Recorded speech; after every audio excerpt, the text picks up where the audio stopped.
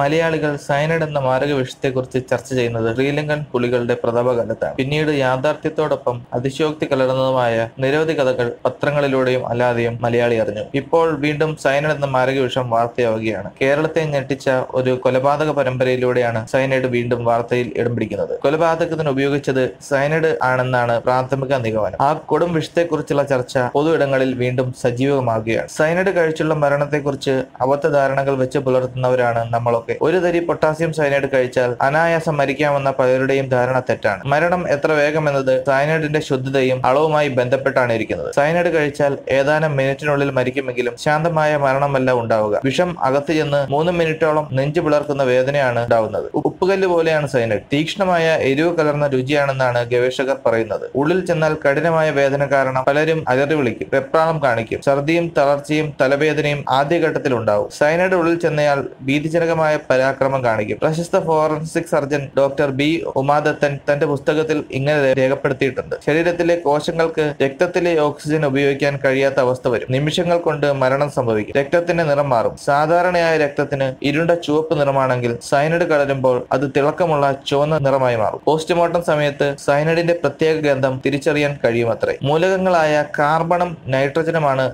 സൈനഡിൽ അടങ്ങിയിരിക്കുന്നത്. Potassium signed sodium signed എന്നിവയാണ് ജീവനൊടുക്കാൻ സാധാരണയായി ദുരുപയോഗം ചെയ്യപ്പെടുന്നത്. പൊട്ടാസ്യം സൈനഡും ഹൈഡ്രജൻ സൈനഡും സോഡിയം സൈനഡും എല്ലാം ഉള്ളിൽ ചെന്നാൽ മരിക്കാനെടുക്കുന്ന സമയം വ്യത്യസ്തമായിരിക്കും. ശരീരത്തിന്റെ തൂക്കം ഉള്ളിൽ എത്തുന്ന സയനൈഡിന്റെ അളവ് അത് ശരീരത്തിലെത്തിയ രീതി എന്നിവയാണ് മരണത്തിലേക്ക് ഒരാളെ തള്ളിവിടുന്നതിന്റെ വേഗം തീരുമാനിക്കുന്നത്. ഒരാൾ അഞ്ചു മിനിറ്റിനുള്ളിൽ മരിക്കുമെങ്കിൽ മറ്റൊരാൾ മരിക്കുന്നത് മുപ്പത് മിനിറ്റ് കൊണ്ടാവും. അമ്പത് മുതൽ അറുപത് വരെ മില്ലിഗ്രാം ഹൈഡ്രജൻ സൈനഡ് ശരീരത്തിലെത്തിയാൽ മരണകാരമാകും ഇരുന്നൂറ് മുതൽ മുന്നൂറ് വരെ മില്ലിഗ്രാം പൊട്ടാസ്യം സൈനഡോ സോഡിയം സൈനഡോ ഉള്ളിൽ ചെന്നാൽ മരണകാരണമാകും. ഹൈഡ്രജൻ സയനൈഡ് ഉള്ളിൽ ചെന്നാൽ രണ്ട് മുതൽ പത്ത് വരെ മിനിറ്റിനുള്ളിൽ മരണം സംഭവിക്കാം. സോഡിയം പൊട്ടാസ്യം സയനൈഡ് ആണെങ്കിൽ മുപ്പത് മിനിറ്റും ചില കേസുകളിൽ വിഷം ഉള്ളിൽ ചെന്നാലും മണിക്കൂറുകളോളം കുഴപ്പമുണ്ടാകില്ല. ശരീരം വിഷത്തെ ആകിരണം ചെയ്യാൻ സമയമെടുക്കുന്നത് കൊണ്ടാണിത്. സയനൈഡ് ഉള്ളിൽ ചെന്ന് ഓക്സിജന്റെ അളവ് കുറയ്ക്കുന്നതോടെ ഹൃദയത്തിലെയും തലച്ചോറിലെയും കോശങ്ങൾ നശിച്ച് മരണം സംഭവിക്കും. തക്ക സമയത്ത് ആശുപത്രിയിൽ എത്തിച്ച് പ്രതിരോധ മരുന്നുകൾ നൽകി രക്ഷപ്പെടുത്താൻ കഴിഞ്ഞാലും തലച്ചോറിലും ഹൃദയത്തിലും സംഭവിച്ച തകരാറുകൾ അവ നൽകുന്ന ശാരീരിക അവശതകളോടെയാകും പിന്നീടുള്ള ജീവിതം. നിത്യജീവിതത്തിൽ ഉപയോഗിക്കുന്ന പല ഭക്ഷണ സാധനങ്ങളിലും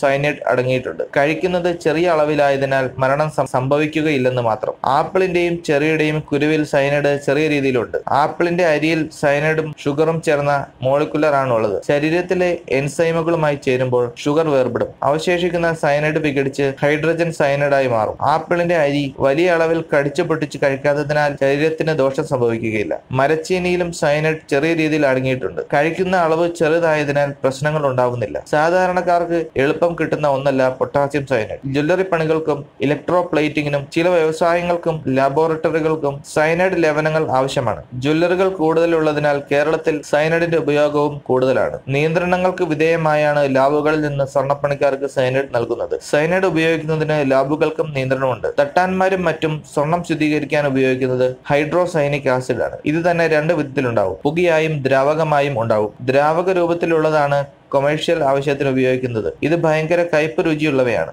പച്ചവെള്ളത്തിലൊന്നും കലർത്തി ഇത് ആരെക്കണ്ടും കുടിപ്പിക്കാനാവില്ല യഥാർത്ഥത്തിൽ പൊട്ടാസ്യം സൈനൈഡ് രാസപ്രക്രിയയിലൂടെയാണ് ഉണ്ടാകുന്നത് ഹൈഡ്രോസൈനിക് ആസിഡ് ശരീരത്തിനകത്തെ ഹൈഡ്രോക്ലോറിക് ഹൈഡ്രോക്ലോറിക് ആസിഡുമായി പ്രവർത്തിച്ച് പൊട്ടാസ്യം സൈനൈഡായി മാറുകയാണ് ചെയ്യുന്നത്. നമുക്കറിയാവുന്ന കഴുത്തിൽ തൂക്കിയിട്ട് നടക്കുന്ന സൈനൈഡ് താലിയിൽ രണ്ടറകളിലായി ഹൈഡ്രോസൈനിക് ആസിഡും ഹൈഡ്രോക്ലോറിക് ആസിഡുമായാണ് ഉള്ളത്. ഇത് കടിച്ചു പൊട്ടിക്കുമ്പോൾ വായിൽ വെച്ച് തന്നെ രാസപരിണാമം സംഭവിക്കുകയാണ് ചെയ്യുന്നത്. രുചി എന്തെന്ന് പോലും അറിയാത്ത അത്ഭുത വിഷമാണ് സൈനൈഡ് സൈനൈഡിന്റെ രുചി അറിയാൻ ഒരു ശാസ്ത്രജ്ഞൻ സൈനഡ് കഴിച്ചു നോക്കിയെന്നും യെസ് എന്നെഴുതി തുടങ്ങുമ്പോഴേക്കും അയാൾ മരിച്ചുപോയെന്നും ഒരു കഥ മുൻപ് പ്രചരിച്ചിരുന്നു. അയാൾ കുറിച്ചിട്ട യെസ് കൊണ്ട് ഉദ്ദേശിച്ചത് സ്വീറ്റ് ആണോ അതോ ആണോ എന്ന് തിരിച്ചറിയാൻ പറ്റിയില്ലത്രേ. ആ കഥയുടെ വാസ്തവം വ്യക്തമല്ലെങ്കിലും കേരളത്തിൽ സമാനമായ ഒരു സംഭവം രണ്ടായിരത്തി ആറ് ജൂൺ പതിനേഴിന് ഉണ്ടായിട്ടുണ്ട്. കൊച്ചിയിലെ സ്വർണപ്പണിക്കാരനായ എം പി ആണ് പാലക്കാട്ടെ ഹോട്ടൽ മുറിയിൽ സൈനഡ് കഴിച്ച ശേഷം മരിക്കുന്നതിന് മുമ്പ് അതിന്റെ രുചി പേപ്പറിൽ രേഖപ്പെടുത്തിയത്. മദ്യത്തിൽ കലർത്തിയാണ് പ്രസാദ് സൈനൈഡ് ഉപയോഗിച്ചത്. പൊട്ടാസ്യം സൈനൈഡ് ഞാൻ രുചിച്ചു. നാക്കിനെ പൊള്ളിക്കുന്ന തീക്ഷ്ണമായ എരിവാണെന്നാണ് പ്രസാദ് പേപ്പറിൽ എഴുതിയത്.